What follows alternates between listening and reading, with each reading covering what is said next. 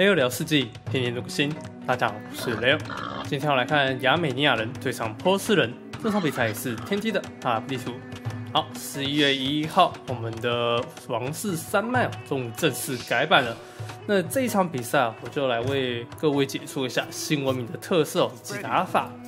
那先来介绍一下黄色，选的是亚美尼亚人。亚美尼亚人最大的特色哦，是他一开始这个罗车呢是有这个二十五%的减免的，但他一开始哦是没有像乔治亚人哦有获得一一台免费的罗车，所以他要造的话，一台罗车的造价也会比乔治亚人更便宜一点。呃，减少二十五 percent，我觉得是减蛮多的。那他的罗车的这个技术研发，研发这个一级木偶跟这个彩金技术。这个效果是跟以前不一样的。那我们的一级伐木是加二十 percent 的这个采集速度，但是它这个亚美尼亚人的一级伐木点下去之后是加二十五 percent 的挖掘速度。那采金采石呢，本来是加十五 percent，那它获得的效果是增加成为十八点七五 percent。那三级伐木呢，本来是加十点的伐木。的这个速度，它是增加十二点五，所以亚美尼亚人啊，如果可以在更快点下自己的伐木科技的话，它的经济也会非常好，获得更多木头就可以产出更多的农田，进行转兵哦，或者是攀科技哦。呃，亚美尼亚人他本身是一个海军步兵文明，但是他的保兵哦是这个我们的复合弓箭手，可以无视对方装甲的弓箭手，非常强大。它的缺点就是血量少，然后射程比较短一点哦。那亚美尼亚人呢？主要还有这个战斗僧侣哦，可以使用哦。那战，它应该叫做正式翻译叫做战斗祭司哦。那战斗祭司的血量哦，它可以后期哦高达一百二十五滴血。它的金冠技术点下之后，所有步兵血量可以加三十滴血。那是不含包含是不含不含这个长枪兵的部分哦。所以亚美尼亚人的后期哦，战斗祭司哦跟剑兵勇士哦都蛮强势的。好，那接下来介绍一下新的波斯人。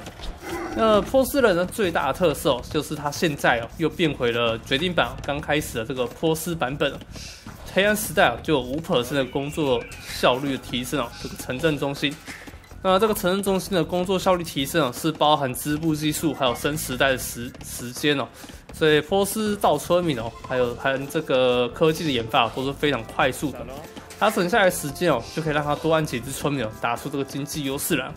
那我们先看到，现在来到十四村之后，波斯跟亚美尼亚人村民数差距有点开始拉开喽。那也有一部分哦，是因为亚美尼亚人哦这边 TC delay 来到了三秒钟哦，所以这个村民差距又会更变得更明显一点。那波斯人这次改版哦，主要是让它增加了一些新的东西，那它的游侠。不是升级游侠了，而是升级为这个萨瓦尔骑兵了。那这个萨瓦尔骑兵呢，是比游侠少十五滴血哦，但是远防多一滴，呃，远防多一点哦，让他能更扛剑死。但他这一把遇到的是亚美尼亚人，他的弓箭手是可以无视对方防御力的，所以波斯人这边升级萨瓦尔骑兵哦，可能会比较没有意义啊。那他的战象呢？是有这个免费的以前的金冠科技哦，相夫技术，而且它的对建筑物伤害哦，已经增加额外三十的伤害，所以波斯人的保兵战象基本上可以说是一个工程单位了，但是它有比一般的装甲战象还要更厉害哦。一般装甲战象是打建筑物很强，但是波斯是不管是打建筑物还是打单位都很强。呃，这次战象的升级可能会让波斯人哦，以后出战象再也不是兵业的选项，而是真的战术需求而出的单位了。那波斯的金冠啊也被取代掉，变成城堡科技哦。那城堡科技呢，可以让城堡攻击力加三哦，而且对这个冲车呢有再加三的这个伤害力哦。那对步兵也有一些额外增伤，所以波斯人的一个后期打法比较适合打这个骑兵路线哦，还有这个阵地战都是蛮适合波斯人的。那波斯人的波斯工兵哦，依旧还是存在的，所以波斯人后期打波斯工兵配上自己的萨瓦尔骑兵哦，还是一个比较主流式的打法。波斯战象比较是看情况而出的了。好，那我们这边看到 T 九零这边出的是波斯，然后打出了二棒棒开局骚扰的一个策略。那这边二棒棒骚扰，不知道能不能打到一点东西。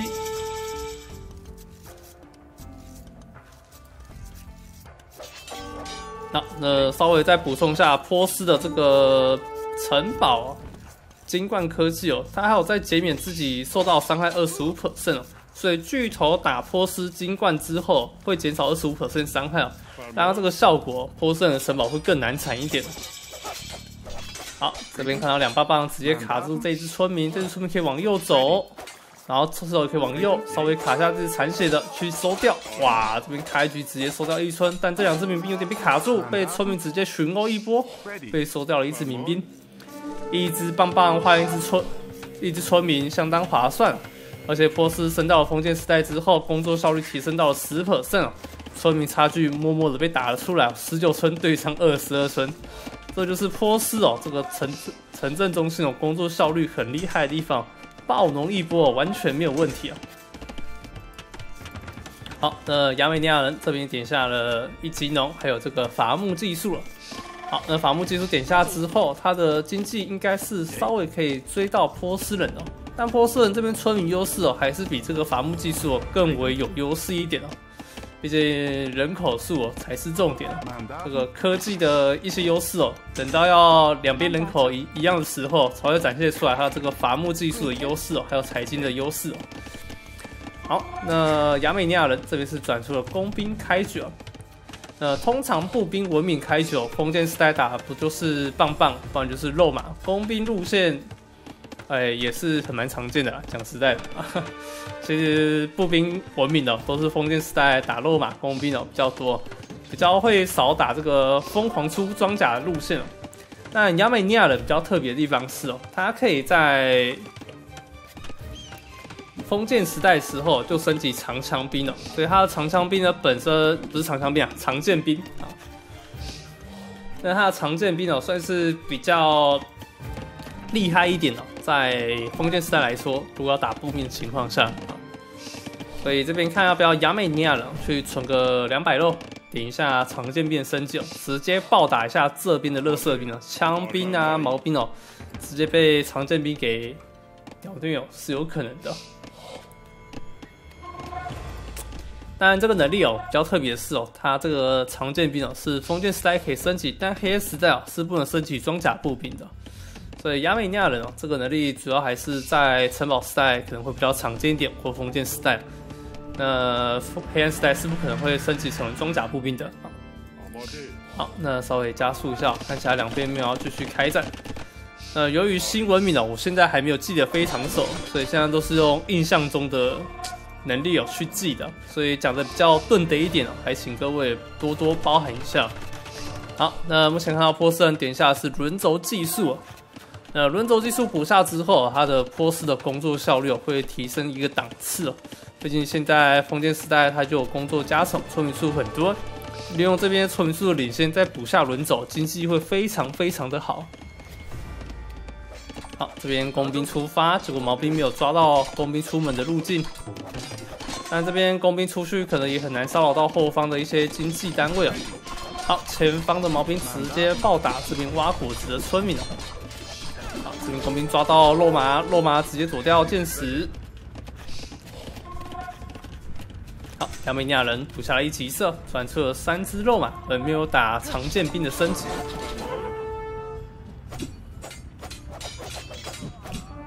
好，看一下这边封建的操作，应该是小打小闹，稍微拉扯一下，不要正面决战，工兵保数量保留多一点，但毛兵直接往上前贴住了。好，但是这边肉马数量不够多，所以毛兵暂时打不太赢，工兵只能先撤。波斯这时候已经点下了城堡时代升级，也点下一级挖金，工兵铠甲也补下了。好，我们看到亚美尼亚人这边补下第二个射箭场，准备要来打弩兵。好，双射箭场弩兵的开局方式。呃，亚美尼亚人的弩兵哦，跟这个他的保兵哦，复合弓箭手比起来，他弩兵的射程哦是比保兵还要再多一点点的。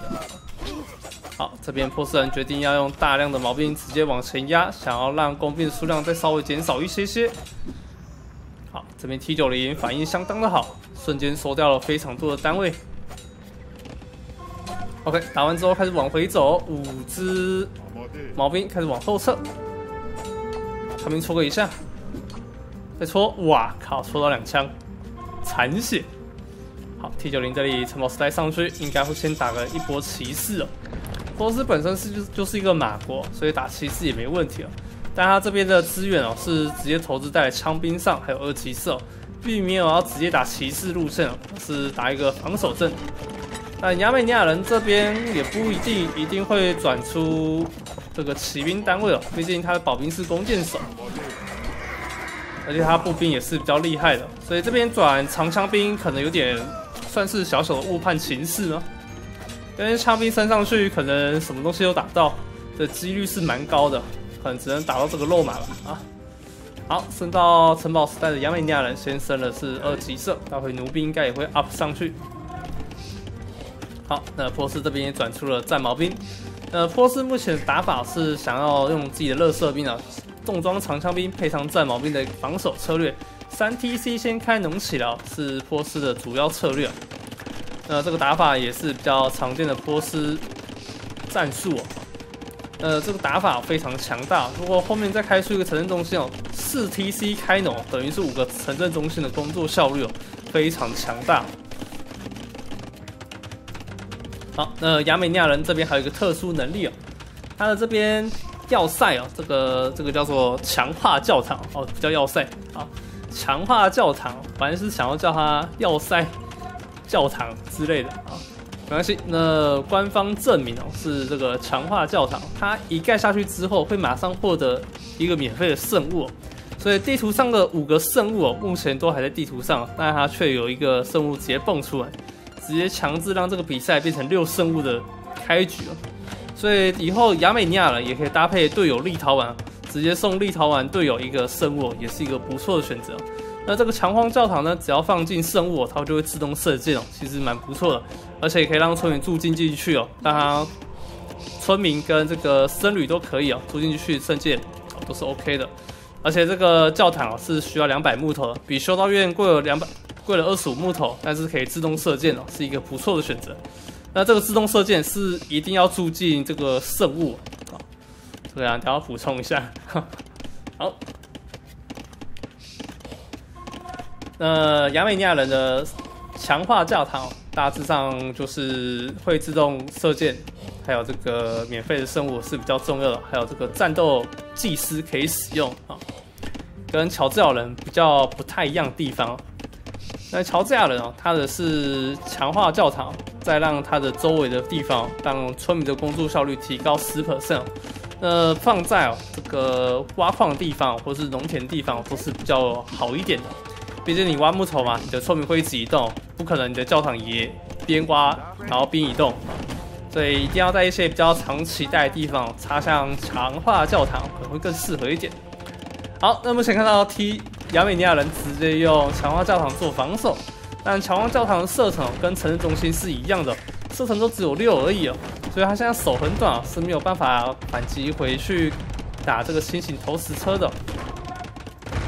但它优点就是不需要石头就可以住进村民哦进行射箭。好，那这边就有点失误喽，你看他这边开始攻击城市中心，如果这边进驻强化教堂的话，就可以射箭反击回投石车。投石车就会受到伤害哦，所以这边如果要打城市中心，就要先越过强化教堂。好，那强化教堂的防御力其实很不错，远防有十，近防有四哦，比城市中心哦远防还要再多高了一些哦，所以暂时当城市中心的肉盾来说是相当优秀的一个选择。好，那后方补下了一个工程器制造所，或是三 TC 开容开始往外扩张。那这边玩是打一个乐色伸头战术，还配枪兵战矛，什么都有，大杂烩。那亚美尼亚人遇到这个组合的情况，通常只能用这个战斗僧侣，或是用投石车稍微反制回去了。那波斯本身是没有救赎思想的文明，所以投石车目前是可以快速解决的对方的投石车的问题。也不用怕对方有四七五救赎思想。毕竟一直战斗祭司哦，是需要这个六十黄金三十肉的，黄金的需求量还是挺多的。所以投石车能互换掉的话，还是最好的一个选择。好，亚美尼亚人这边压着打有点有点难受。现在村民数差距是七十六村对上九十七村，村民差距约为二十一村哦，非常的庞大。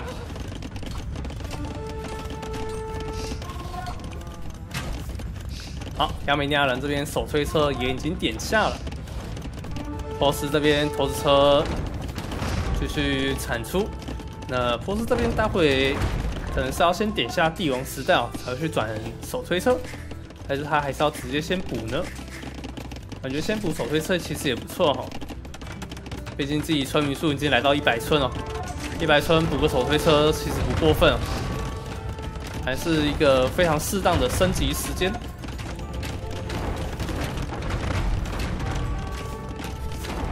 亚美尼亚人这边转出来的是更多的投石车，弓箭手的部分并没有在家里哦，而是在野外上方哦。这边准备要来开打，但是后方有非常多的战火兵在追逐，所以工兵战手也没有办法骚扰到 T 九零后方经济哦。好，这一波老头稍微补一下血。好，亚美尼亚人直接点出了四七五救赎思想，还有神圣思想，后面是增加僧侣的血量，还有这个招降工程器的能力。那这个救赎思想点完之后，对方的建筑物也可以招降掉。好，T 九零这里补下了帝王时代的升级。好，头车互换一发，但是人家是高地哦，所以活了下来。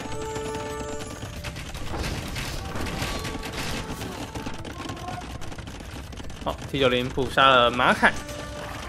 亚美尼亚人这边补下了更多的城堡进行防守。我们小心，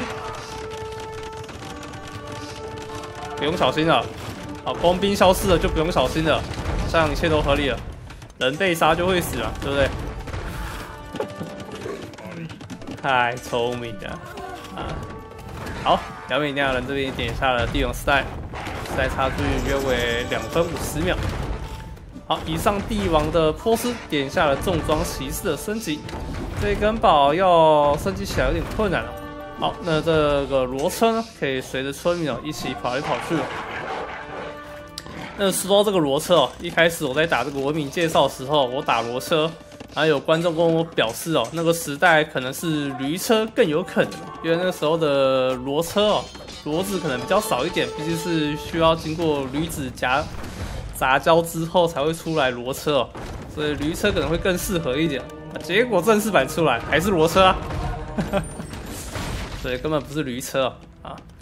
好，这只是做改版资讯的一些小小、小小的一些事情。当然，我在影片后面有有补充哦，这个正式版还是还是正式的影片哦。那我们这些影片都只是暂时翻译的，那以正式版为主才是重点。毕竟获取资料时间只看了大概两三个小时哦。就发出这些改版资讯哦，其实有些资料是不谨慎的。当然，资料越早出来是大家越想越想看到的嘛，对不对？那当然之后我会尽量把这个资料弄得更准确一点，再发布出去啊，这是我会尽量做到的事情。好，那目前看到亚美尼亚人升下了骑兵的升级，还有步兵的二级铠甲。好，那这个罗车的好处就是可以到处移动哦。那像现在这样子，如果大约黄金挖完，这些螺车还可以到处去伐木，或是去把这个螺丝放在这里，让石头挖的更快一点。那我们想看到波斯人已经点下了萨瓦尔骑兵了。呃，萨瓦尔骑兵呢，它这个血量，我们刚刚讲，血量比游侠少了四五滴，但是远防多一点。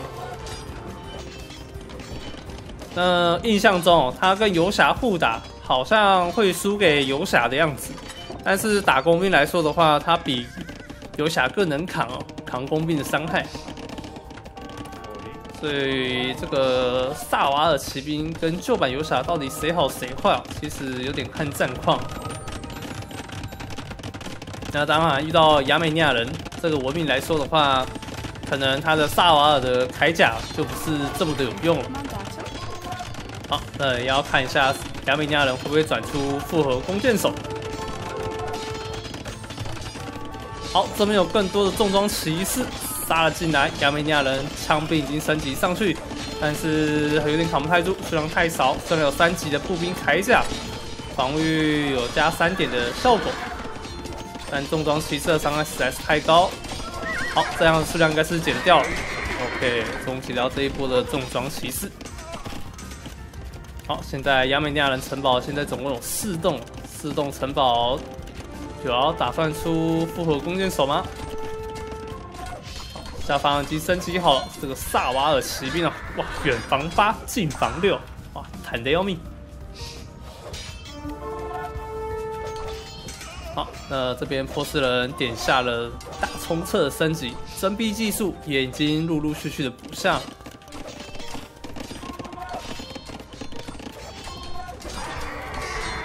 好，直接被戳爆。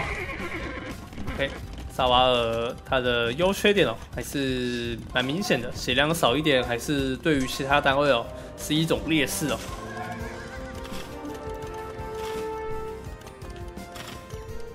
哎，这边罗车还可以躲城堡，哎呀，细节啊！我们这个影片示范到了非常多的新文明的玩法啊。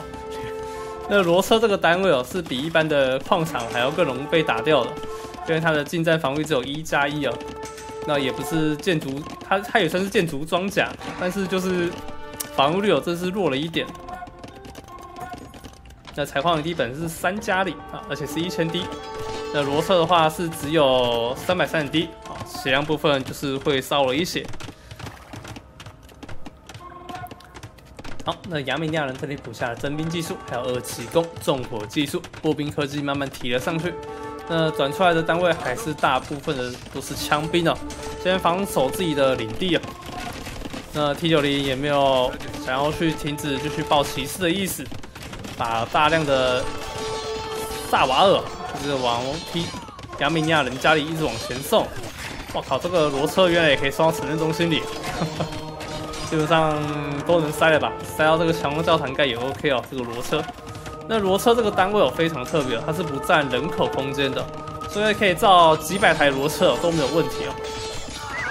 好，这边用老头稍微招降一下萨瓦尔，萨瓦尔这边直接砍爆了大量的村民，村民开始往下追逐，左边部分省经守住了。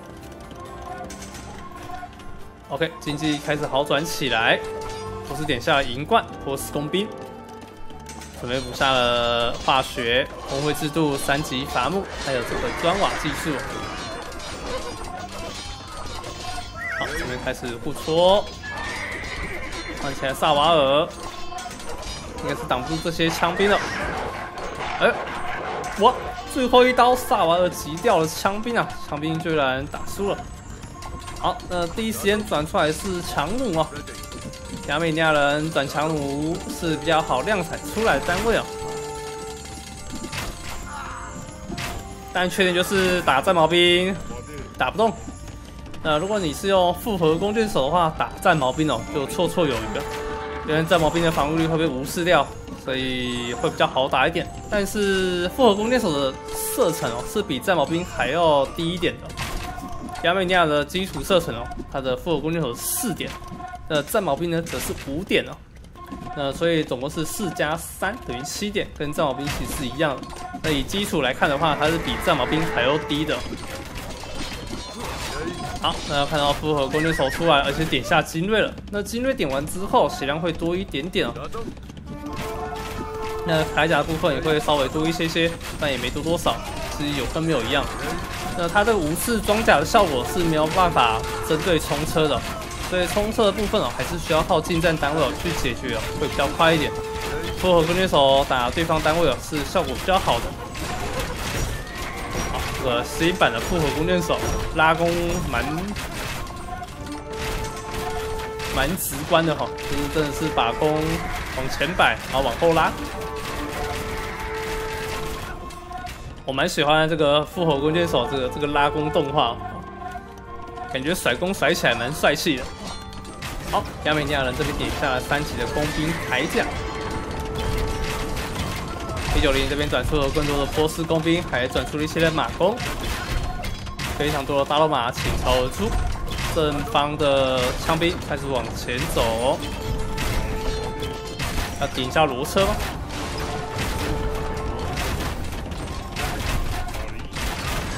本来想要点巨头，但没顶到。好，这时候亚美尼亚人点下印刷技术，传一些老头来招降。那这个战斗祭祀哦是不能招降的，但它可以捡圣物。哇，点更多僧侣科技。呃，亚美尼亚人的老头科技哦是全满的，什么都有。好，那我们先看到枪兵大量正面扛住，但亚美尼亚的复合弓箭手伤害实在太高，洛马跟萨瓦骑兵瞬间就被蒸发。但很可惜哦，亚美尼亚人并没有母子环，所以他攻击速度是他美中不足的一个缺点。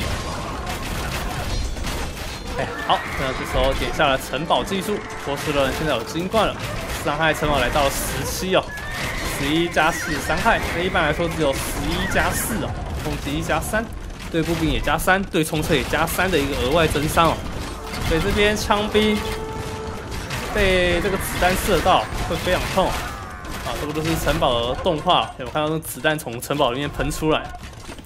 那我们就简单记就好，就是它会喷出这个子弹之后，这个伤害增加，大致上是这样子，不用去记得太复杂。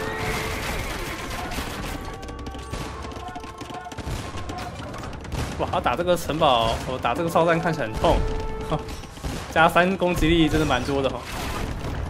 这边一根城堡是有四发箭矢，加三的话就是四三十二，每一次攻击力都会增加十二的概念。然后再对步兵又再加三，冲车又加三，所以他解冲车其实也很快哦。哇，这样波斯防守来说，也不会比条顿还要差的感觉。好，那后方条顿呃，波斯点出了火炮，打后方的亚美尼亚的后方攻击效果其实很不错。啊，亚美尼亚人的无视对方铠甲伤害哦，对上这个安贤战士的重装马弓，其实也是非常亮眼的。很快就可以打掉大量的铠甲。看这里马弓数量有够多。那最近的马弓哦，是日本的这个流迪马，让自己的马弓哦。打这个单位时候更痛了一点。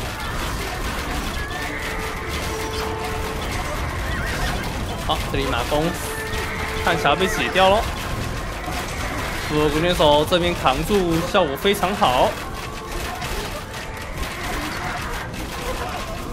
好，波斯工兵扛住这边的大军。现在 T 九零现在黄金有点缺乏，可能不能再产出更多的萨瓦尔骑兵。虽然传出来也不太好，人家复合弓箭手都已经成型了。那现在这个情况可能要转一些投石车啊，或者是要打更多的波斯工兵哦，进行反制哦。那打战矛兵的话，可能会有点打不太回去，但我认为是可以出一些哦。毕竟战矛兵打工兵的额外增伤非常多。哦。但，波斯这里有拇指环又有波斯的情况下，其实出战矛兵意义也不是非常大。出一般的弩兵哦，去反制可能会更好一点。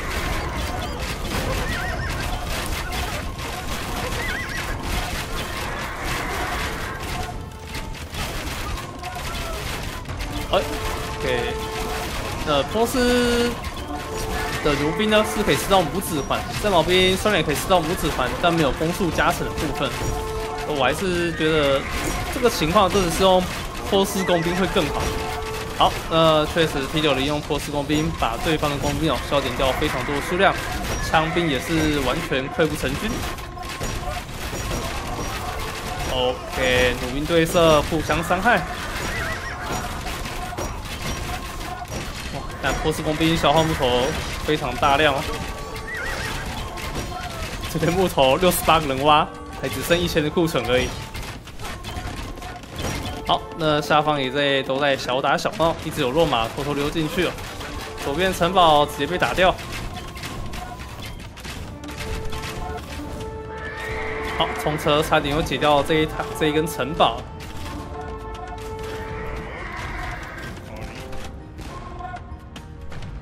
哇，亚美尼亚人城堡都掉了！哇，他没想到烧起来的样子，真的有够像废墟的。哇，亚美尼亚人城堡蛮漂亮的，非常高哦。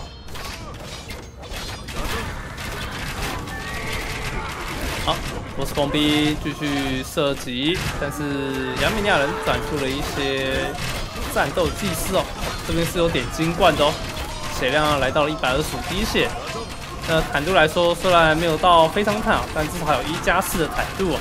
远防五，波斯工兵只能射大概三滴血一发，要一点时间哦，才能把这个战斗技师给射死。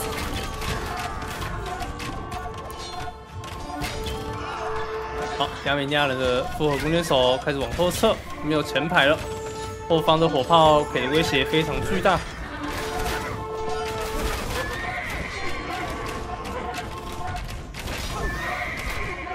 好，火炮能够打掉吗？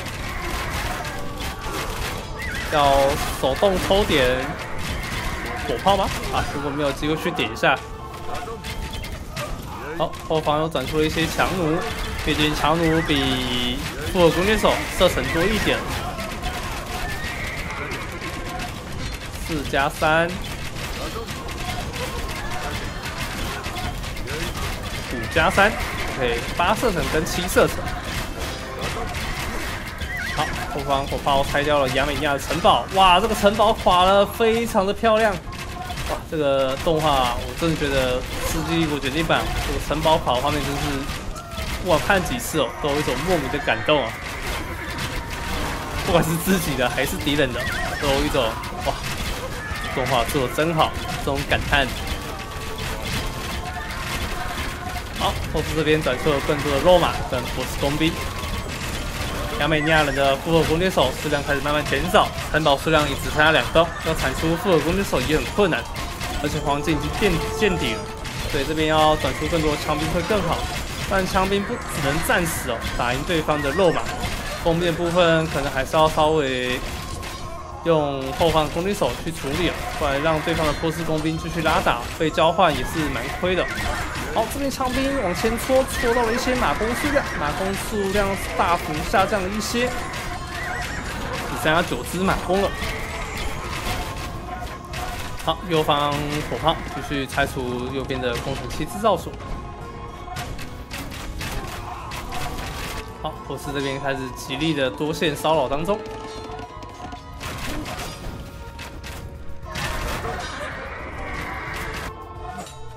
哎，这台骡车怎么在这个位置？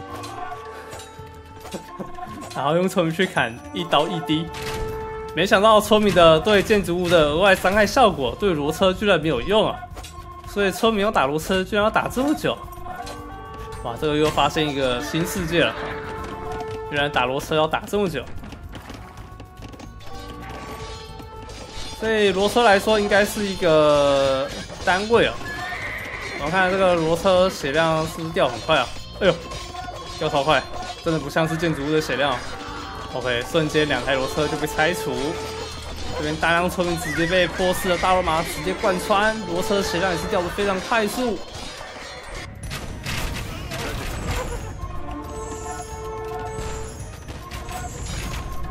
好，P 九零开始用火炮慢慢拆除外围的军事建筑物，想要慢慢攻入敌方阵营。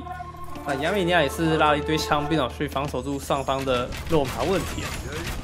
亚美尼亚人依旧在这个高地进行最后的防守，只要这个高地一失守，亚美尼亚人就会全军溃败。所以他一定要把所有的兵力集中在这一点上。那也要特别小心对方的火炮。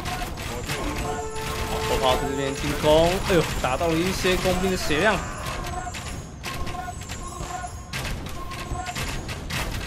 好，超越反击回去。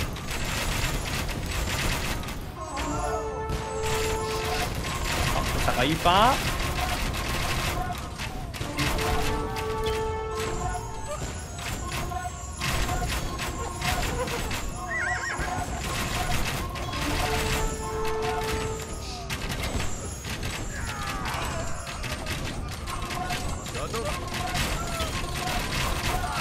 好，上方弓箭手开始进行输出。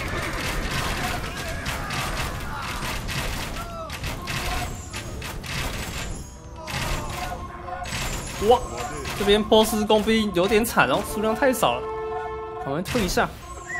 哇，没想到最后亚美尼亚人是用出了大量工兵哦，这个强弩部分哦开始往外推。那如果是这个组合的话，波斯就会转出大量战矛进行反制了。最近战矛兵的远方哦比较高。好，开始亚美尼亚人用老头招降外围建筑物，直接招降马厩，让它变成自己的，也是一个很好的拆除方式。好，找到了一个马厩，两个，第三个有机会吗？哇，来不及招到就被老头给射死了。好，后方老头肉马继续乱窜。这时候波斯的黄金也已经归零了，但他目前还有生物继续产生黄金哦。里面的生物是三个，呃，亚美尼亚人这边的生物稍微看一下，也是三个。阿伯总共有六个生物哦，这只有亚美尼亚人哦。存在的情况下才有可能啊。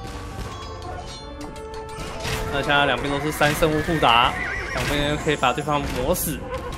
这一场是一个精神力的对战啊，谁出现庞大失误死哦，或者是正面军队一气之间崩塌啊，那谁就输定了。所以现在亚美尼亚人这一坨军力哦，一定要保持住。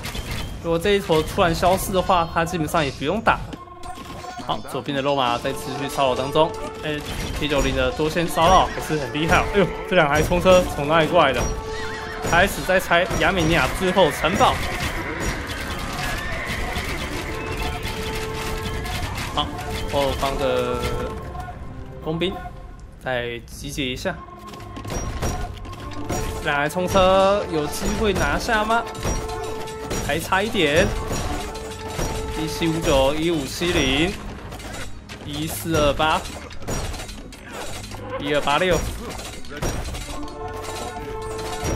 好，一一四四，血量非常残，赶快修一下。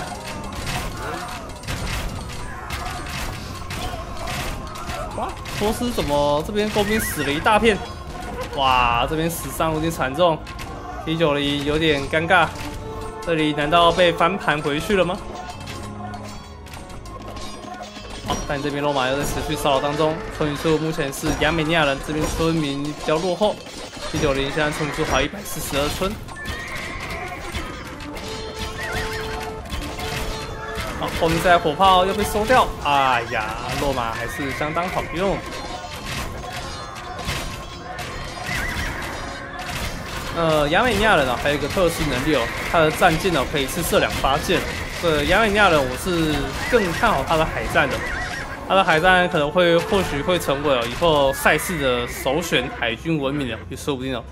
会这一次射两发子弹哦，这件事情是非常夸张的。射下是双重弩炮，哇，非常强。而且他听说这个能力是战舰死后不用升级到弩炮战舰哦，就是双剑。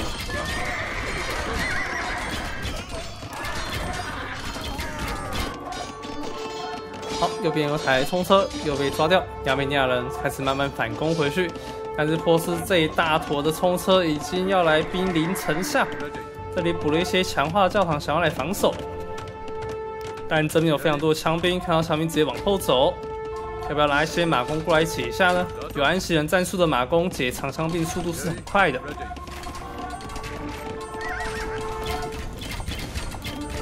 好这边被吃到这些伤害非常痛，后方城堡开始射出子弹，这边子弹打步兵伤害真伤非常夸张，直接秒掉了非常多的枪兵，但是自己的冲车也是被解掉了两台，下方的波斯工兵集结的位置有点怪怪，往前之后直接送了一波，后面又补下了更多的。波斯工兵出来，后方大罗马也想要骚扰，但是遇到非常多的长枪兵。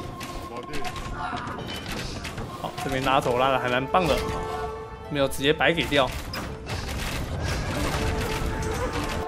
因为通常打到后期哦，大家对落马的生存哦，其实生死没有那么在意哦，就觉得啊送了就送了，反正我冲到他后面了，抢个一波就是了。但这边还会细微操作一下。就就是高手跟一般人的差距了。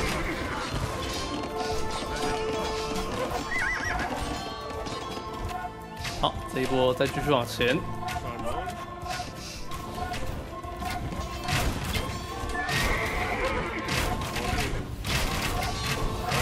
好，左右两边肉马继续喷了出来。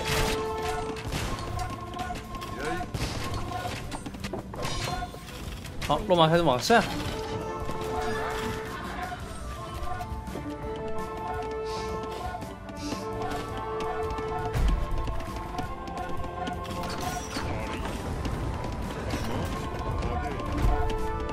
好，左边长茂教堂继续拆除作业。这些教堂拆除，应该就可以进去了吧？因为现在有教堂，工兵不太敢直接走进去。哇，果然强化教堂虽然不会自动射箭哦，但于对于敌人来说，还是会有稍微一点害怕的心理。毕竟只要村民进去之后，他就会开始射箭了。虽然伤害跟城镇中心差不多，但嗯，当然就是有点怕怕的。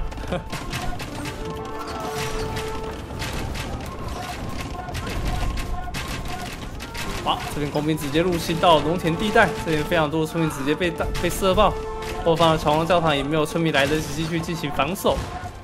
右边部分也是想要用落马进去骚扰，但是城堡的金冠效果抵挡这些落马伤害还是不错的，增加加三点的城堡伤害啊，还是很打所有的单位都是很美丽的数字哦。好，这一坨波斯工兵直接到后排点了强弩。长弩直接死了一些。好，亚美尼亚人这边的经济来到了紧绷，只剩下减三村。波斯这边按了更多的波斯工兵，还有肉马马弓，马弓没有继续按，存了一些黄金。好，波斯工兵再次反击回去。哎呦，但亚美尼亚人这边转出了战矛兵，想要打击波斯工兵。效果其实还蛮不错的哦。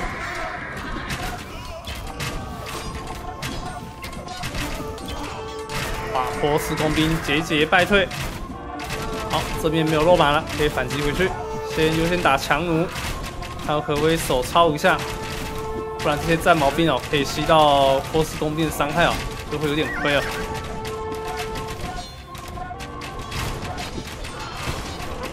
这边有非常多罗马直接入侵到 T 九零的左边伐木区，T 九零准备要把木区给挖完了。哇，直接海景第一排！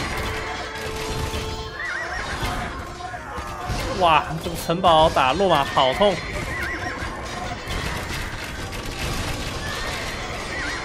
好，更多的大军开始往前压制，波斯大罗马开始往前，想要解掉后方的战矛兵。但亚美尼亚人也是转出一些肉马，但肉马完全抵不过波斯的大肉马，毕竟马凯就少了三级马凯了，而且也没有办法升级到大肉马，只有轻骑兵的升级哦，血量上也是输的，防御也是输的，所以波斯这边转出更多的肉马，还有这个波斯工兵哦，感觉是一个更好的选择，就是不要再配战矛兵了啊，直接用这个暴力组合 A 过西就好了。好，这边村民终于有机会可以住进强化教堂，强化教堂反击回去村民，啊不是村民，这个波斯工兵。哇，四十八只的工兵，太恶心了！波斯工兵，后面再补一个强化教堂。新文明真的是挺有趣的啊，真的是满满的特色。真的觉得 CD 国的 DLC 都做的蛮有诚意的，只是随便做做而已，就把这些比较特别的地方展现出来，但也不会做的太过夸张哦。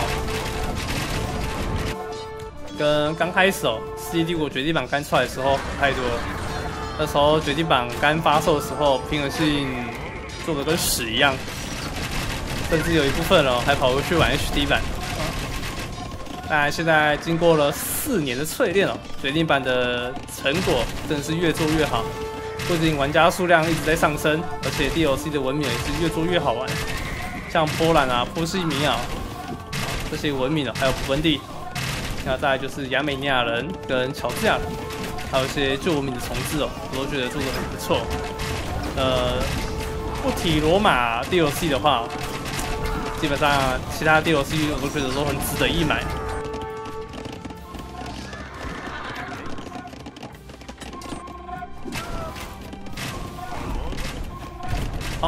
边的城中心拆掉，这边亚美尼亚人村民数只剩九十六村。这里要是再被击杀村民的话，可能会有点经济回不太起来咯。好，但右边大量战火兵直接扛住了右边的战线，但更多落马过来，战矛兵有点危险。这边弩兵吃的非常开心。现在左右开弓的关系，让亚美尼亚人有点够不到左边了。左边村民被屠个一波，村民数降到只剩八十四村。波斯这边还一百零二村，往右边走。结果这边居然还有移动城堡资源，哪来的？从哪里挖出来的城堡？好，好，这里波斯工兵进行反击。好，这边直接卡了一个城堡下方的位置。这边大量伐木工可能要被波斯工兵给射爆，或许我们就不要理城堡了，如何？直接往前射。好，但最后还是躲在城堡下方，阻止这边挖木头的村民。连驴车也进去里面了，啊，骡车不是驴车。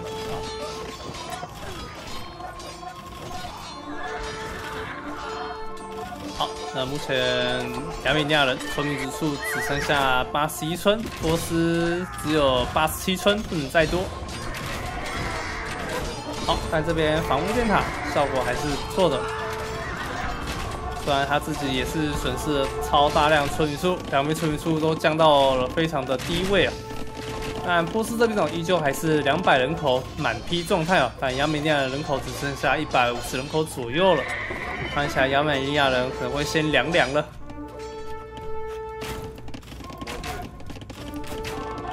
哇，这边奴兵，这损失有点多。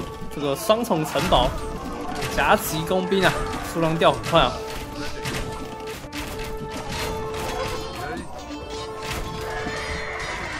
哎，有一波卢兵过来，B 九零想要使对方放弃这一波的会战。现在 T 九零应该内心在想：赶快投降吧，我已经打到你家里了，你应该快没经济了吧？但 T 九人机器也算是蛮岌岌可危的，每一个资源都没有满千的这个数量。好，但是亚美尼亚人最后还是打出了狙击，出了五百七十七支的波斯工兵对上五百二十一支的骑兵啊！哇，这一场真是打得有够久，啊，也是非常充分展现了新文明的跟重置波斯文明的一些特性啊。虽然没有看到战象啊，稍微可惜了一点啊好，我们来看一下经济的部分。经济的部分是由波斯这边拿下非常多的胜利，黄金的话则是拿输了一点点而已哦。那木材部分呢，虽然说是亚美尼亚的木材运工作效率更好一点，但是波斯人的这个 TC 哦，懂得很快的关系哦，所以村民领先来说还是赢了一个档次哦。看这个村民的线，这个线位哦还是比较高一点。好，那来看到军事的部分，军事的部分是亚美尼亚的 KD 值是比较好，一点一二的 KD，波斯只有零点八九，所以实质上来说，亚美尼亚人的复合弓箭手还是有 counter 到波斯人的这个萨瓦骑兵哦，所以波斯人这边只能用自己的波斯工兵呢进行反制哦。那波斯工兵本身没有三级射，手也会比较短一点哦，所以跟亚美尼亚人对射哦，可能就没有那么大的优势了，甚至是有点五五开啊。